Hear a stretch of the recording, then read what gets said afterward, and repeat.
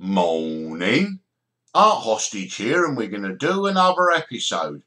Well, a couple of interesting developments. First of all, okay, we've got um, we got Cecil uh, Landman, who is. Well, let me just call up his details. Right. Cecil Landman is a journalist in Italy and the ne- Netherlands. Resistance against organised crime. Okay. Now, an article was dropped, which I'm going to read to you, right, by Jan. Um, where is he? Right, by Jan Meus, M-W-E-U-S, in the Netherlands, about Ridwan Taghi. Incredible article. Okay, and he, uh, and I think he may be a future guest for um, Nicola Tallant on her podcast. Okay, and and also I would recommend that Nicola Tallant gets on Cecil Landman, right? Because what he said, okay, you'll be interested here. On Twitter, he's just said this. Enough material, thick files about Raphael Imperiale in my possession for six months, directly from Naples, where I was told by the chief prosecutor that there was a super cartel together with Irishman Daniel Kinahan. No newspaper, no magazine, no editors showing interest. Crazy, huh? Yeah, it is crazy. So we've now got a journalist here who's got thick files about Raphael Imperiale, okay, the Camorra boss that was extradited from Dubai a couple of months ago as part of the drug super cartel, the Kinahan drug super cartel. You got Ridwan Taghi on trial in the Netherlands. You got Raphael Imperiale serving his jail sentence in Italy. Camorra boss. Ridwan Taghi's the um, Mocro mafia boss.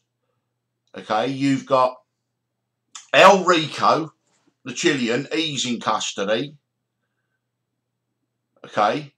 You got Daniel Kinahan still free until this week, allegedly. That's what the information's come through.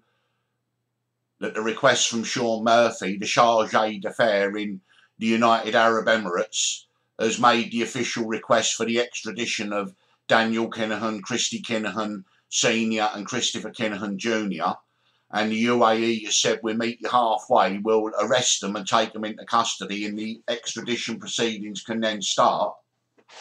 And uh, Sean Murphy, the charge d'affaires for um, the United Arab Emirates, based in Abu Dhabi, is going to accompany Joe Biden on Friday and Saturday to Saudi Arabia. Okay, and then, then they're going to meet, obviously, with the uh, UAE president or the person in charge of the UAE, the royal family,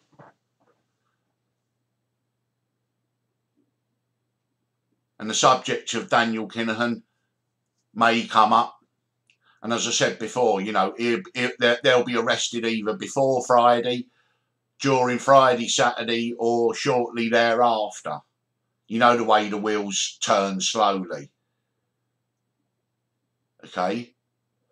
So there's direct links here, right? And then you've got a journalist here that's got thick files about Raphael Imperiale and no doubt about Ridwan Taghi and Daniel Kinahan.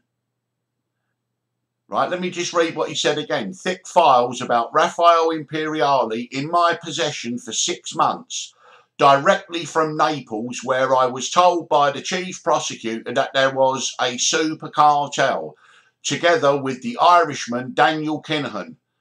No newspaper, no magazine, no editors showing interest. Crazy, huh? So it would be easy just to say that the media are asleep at the wheel. Well, they're not all asleep at the wheel. I mean, Nicola Tallant's trying to do stuff, Stephen Breen. Okay, but yes, they have been told. There's a script that they can write about and there's stuff that they can't write about. And yes, there's censorship going on, right? And maybe in the fullness of time it will come out and it'll be admitted why. But anyway, I think this Cecil Landman might be another good guest for um, Nicola Tallant after she has Jan on. Jan Meus, right? Now let me go to his article because this one, right, blew me out the water when I um oh god, I don't want to make them kind of metaphors. Right, this is this is unbelievable. Communicating with the outside world from a heavily guarded cell, Taghi succeeded. Organised crime. Even before Ridwan Taghi got his cousin Yusuf to visit the extra secure institution as a lawyer, he communicated with the outside world. Justice knew that, thanks in part to a tip off from the FBI. On Monday, the court will reopen the murder investigation into Peter R. de Vries. The American FBI warned the Dutch authorities in December 2020 that Ridwan Taghi could communicate unseen with the outside world. At that time, Taghi was already in the extra secure institution in Vught. According to the FBI, Taghi are regularly made available for unsupervised physical and or electronic communications with third parties. That was possible thanks to one or more compromised prison guards, according to the FBI. Based on messages sent with crypto telephones from the Canadian company Sky ECC, the FBI has determined that Ridwan Taghi actually communicated with an important accomplice. In November 2020, he forwarded a message to Italian mafia boss Raffaele Imperiali. Within the thick walls of the extra secure institution in Vught, commotion arises on Tuesday, December the 1st, 2020, when a new lawyer called in early in the afternoon for an appointment with Ridwan Taghi. It's his cousin Yusuf. A family member as a lawyer could thwart everything the EBI board does to isolate Taghi. The contact between a lawyer and his client is confidential and should not be overheard. What to do if they can't refuse Yusuf?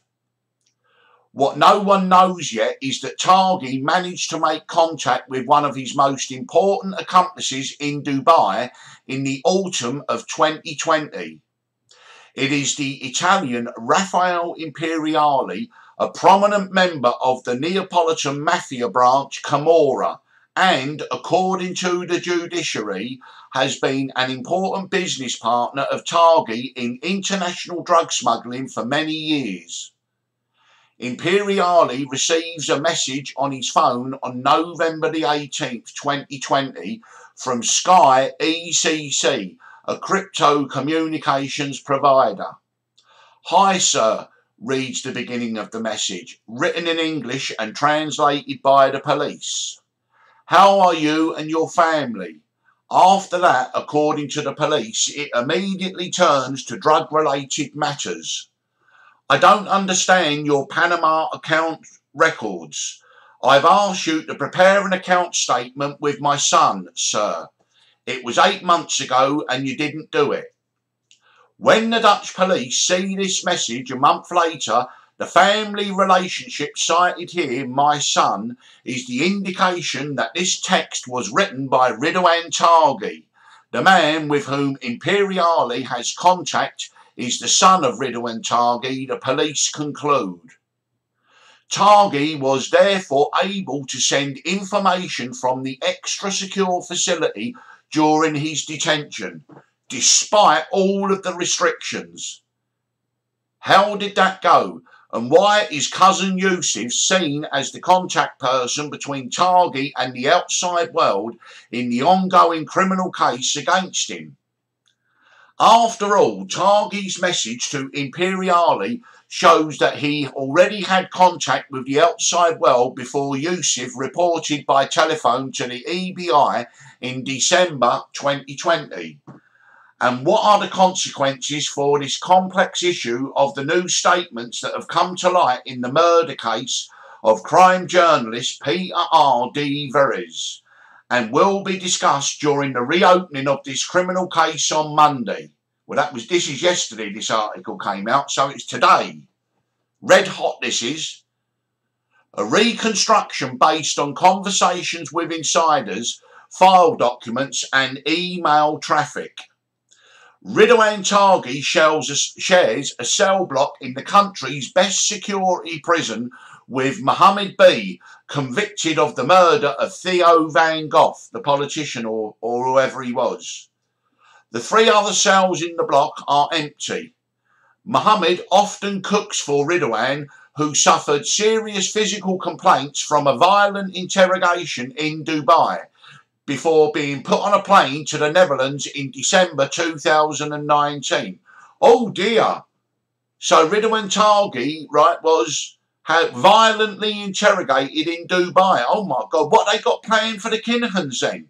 Gordon Bennett. See, they don't mess around. And if it's up to the presidential level, honestly, waterboarding, well, that'd be like a walk in the park. Good grief. I just want to read that again to you, right? Honestly, here, Ridwan, who suffered serious physical complaints from a violent interrogation in Dubai before being put on a plane to the Netherlands in December 2019.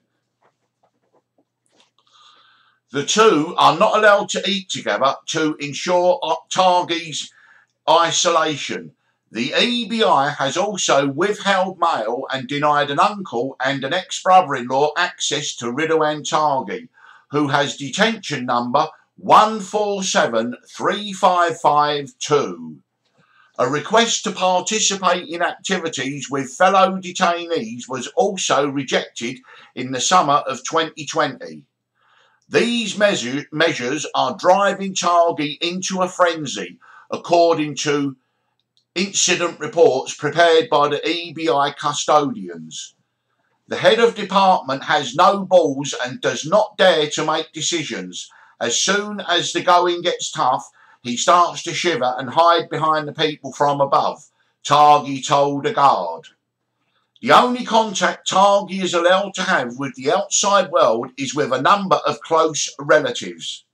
They are allowed to call and visit if they pass the screening. Strict requirements apply to such contacts. The physical conversations take place behind glass and are monitored, recorded and translated if necessary. Taghi only has unmonitored contact with members of his team of lawyers, which is led by Inez Weski. On Tuesday, December the 1st, 2020, Yusuf will receive his first phone call to inquire about his request. He is not known as Taghi's lawyer and is not on the visitors list. Almost immediately afterwards, it is now 1.30pm, the relevant EBI employee sends a message to the Judicial Institution Service, which is responsible for the Dutch prison system. That message is followed by a phone call to an employee of the Amsterdam Department of the National Prosecutor's Office of the Public Prosecution Service. I have just been called by an employee of the EBI that Yusuf Taghi has presented himself as a lawyer for Ridwan Taghi and wants to visit him.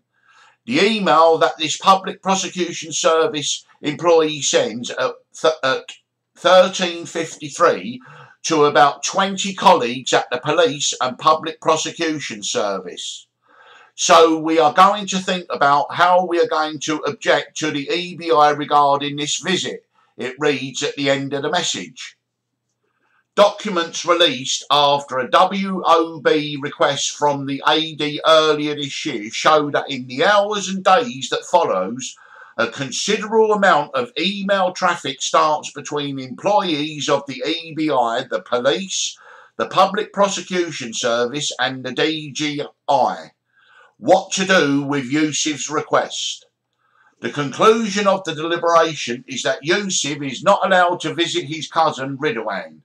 The argument is that the Dean of the Bar Association is currently investigation the mis investigating the misuse of Yusuf's lawyer's telephone, which should not be tapped. Yusuf would have let another cousin use that phone. Interesting detail this cousin is currently being held on suspicion of involvement in the murder of lawyer Dirk Wiersum. A week after Yusuf was denied access to the EBI, the Dutch police received high profile information from the FBI.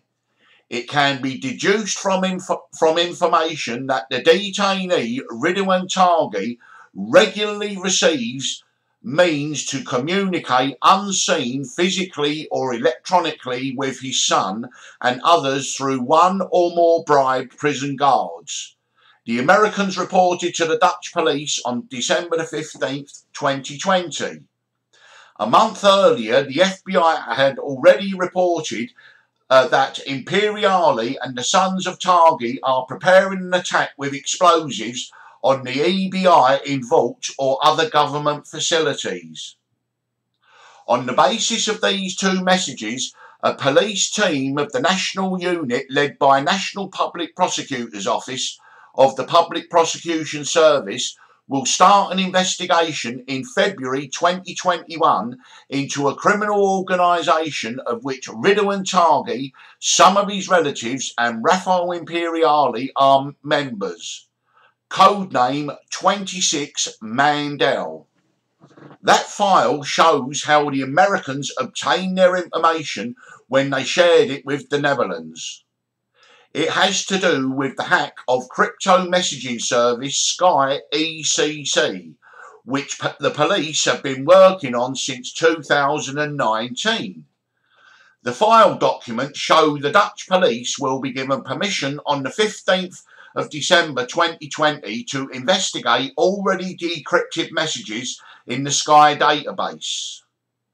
And from February 2021, the Dutch will be able to read live messages via Sky. That's Andy Craig and his team. Until March the 9th, 2021, the day Sky will be taken off the air. Sky ECC's customers do not use their own name, but are hidden behind a nickname and a special PIN code. This information is therefore in, important in order to know who sends which messages to whom. At the beginning of March 2021, Europol will send crucial information about this to the Netherlands in a so-called intelligence package. It contains the PIN codes of the Sky telephones of Rafael Imperiale and the son of Ridwan Taghi, who regularly communicate with each other.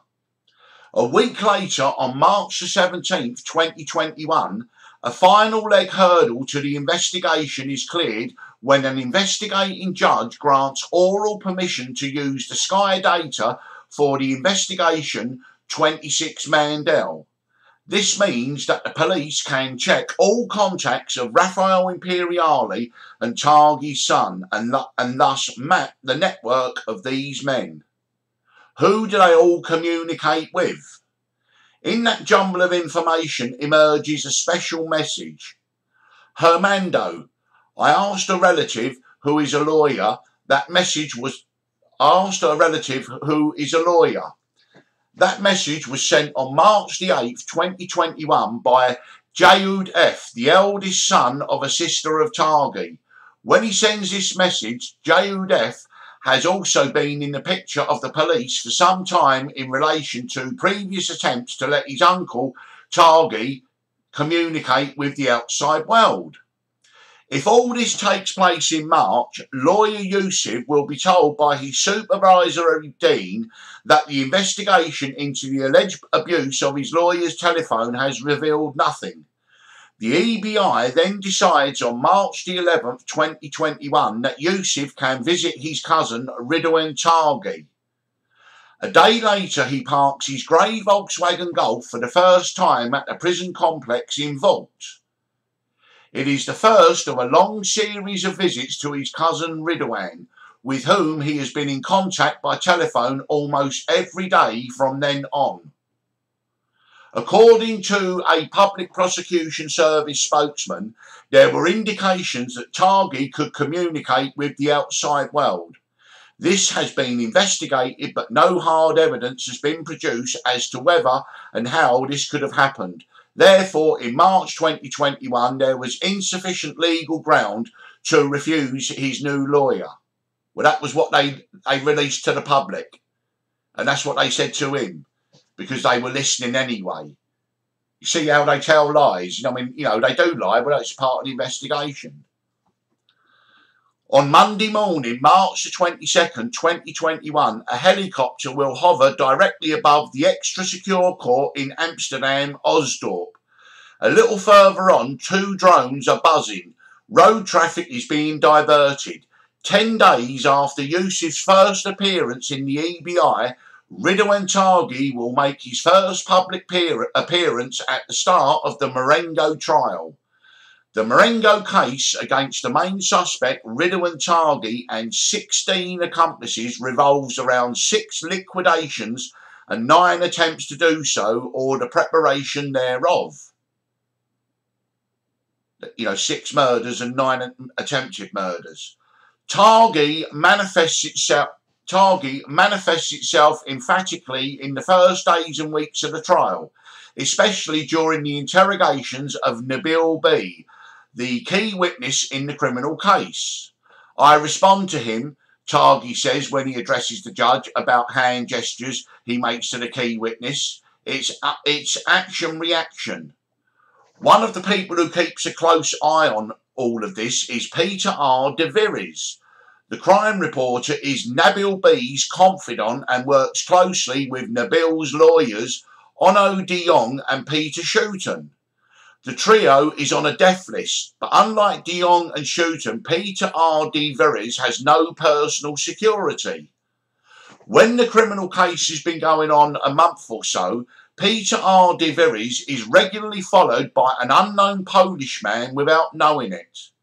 It is, it, it is the result of the order to kill the crime reporter uh, which was given to 27 year old Pole Christian M.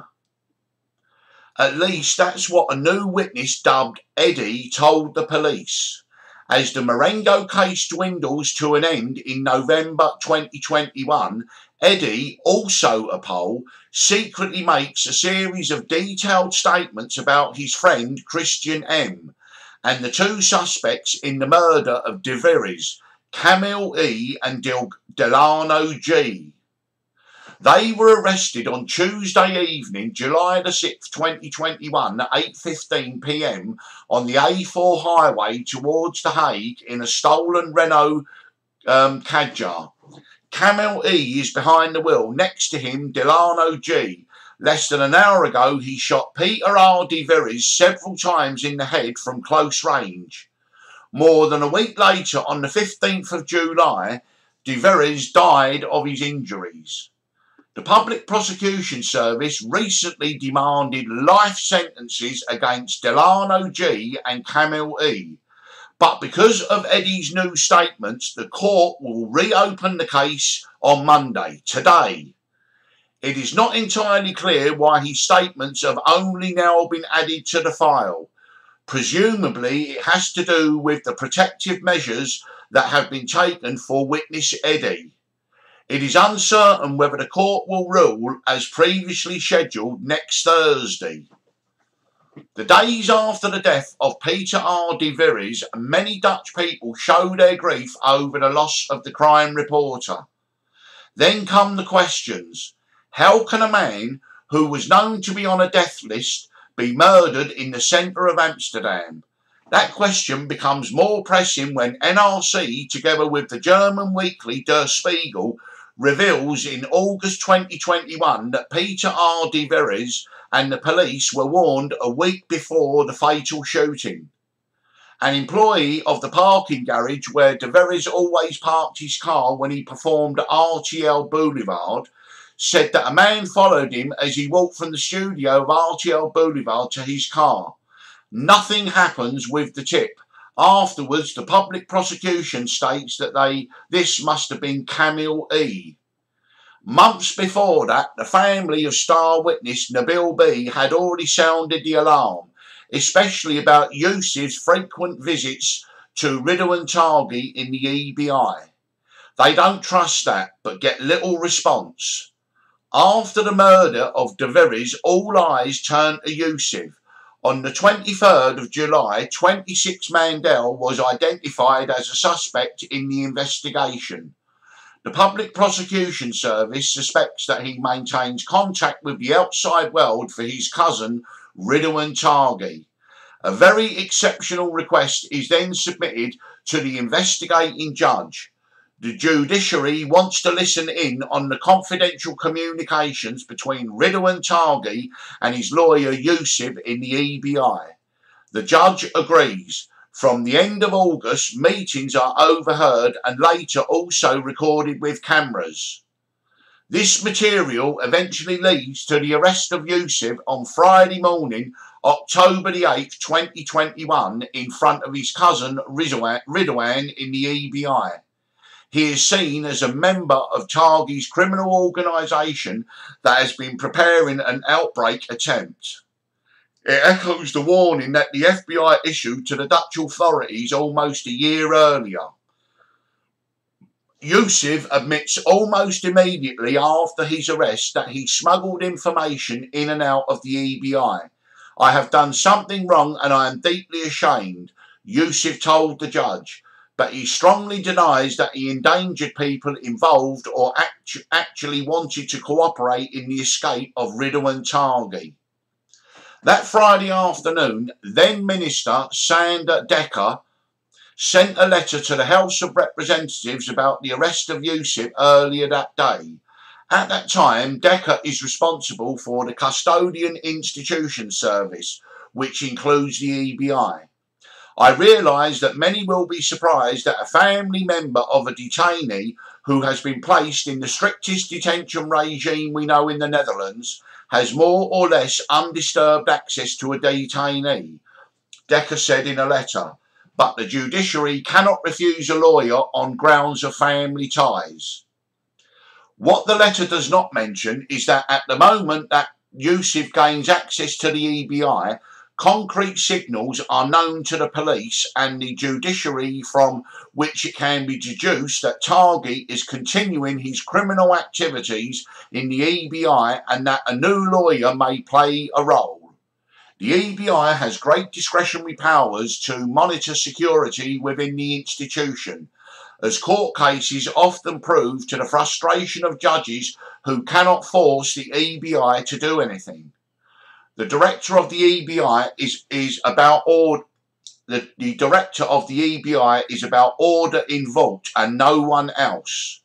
Concrete indications for continued criminal activity are a special reason for refusing requests, according to court decisions about Taghi's detention in the EBI from 2021. Only the Public Prosecution Service and the Dutch state have chosen not to disclose findings from the spring of 2021, and Minister Dekker does not do so in his letter to the House of Representatives. In fact, in an interview with the AD, Dekker states that there were no concrete indications to deny Yusuf access to the EBI. On Tuesday, October the 19th, 2021, 11 days after Yusuf's arrest, the detectives raided a house in The Hague near the Zuiderpark. Park. According to a tip from the criminal environment, a number of Poles who are active in the drug trade live, live there. No one is surprised, although the action is certainly not a routine job due to possible possession of weapons. In the house, the police do indeed find a weapon with ammunition and a taser. They presumably belonged, belong to Christian M., who is being arrested. According to the police, he is the man who directed the two executors of the murder of Peter R. de. More interesting than the weapons, it turns out later, is a phone found with 27 year old Pole in it, the police find a series of messages between this Christian and a man hidden behind the nickname War Mode Equal Back. The man behind this nickname is Jarud F., the nephew of Ridwan Taghi, who has been identified poli- by police as a key member of the group of men around Taghi since 2015. With those messages, the police have therefore found a link between the group around Taghi and the perpetrators of the murder of De Vries. And that's not all. A few weeks after the raid in The Hague, another po- Pole reports to the police, whom they give the nickname Eddie. This Pole knows Christian M very well and says that he has been involved in bad things. In June 2021, during a car ride, Christian told Eddie that Camille was hunting that journalist, whom he meant Peter D. R. de. He had to die because he worked for the key witness. Eddie says that Camille E. is Christian's accomplice. According to Eddie, Camille worked for Christian, who gets his assignments through the mail from a man called Uncle. Or Eddie knows already knows who that uncle is. That's the boss of the Mocro Mafia, Eddie told the police. He killed the brother of the key witness.